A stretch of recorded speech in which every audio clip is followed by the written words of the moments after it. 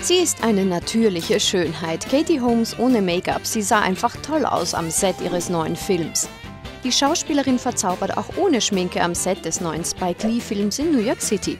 Katie, die ihre schmale Figur in ein paar Jeans und einem grauen Top zeigte, offenbarte ihren makellosen Teint. Währenddessen war ihr Ex Tom Cruise am anderen Ende der USA in Hollywood bei der Premiere seines neuen Films Oblivion. Der 50-jährige Schauspieler, der diesmal im Rollkragen kam, wurde am roten Teppich von seinen Co-Stars begleitet. Mit dabei war auch die umwerfende Olga Kurilenko. Er kam sogar ein bisschen früher, um Zeit zu haben für seine Fans. Tom ist definitiv fanfreundlich.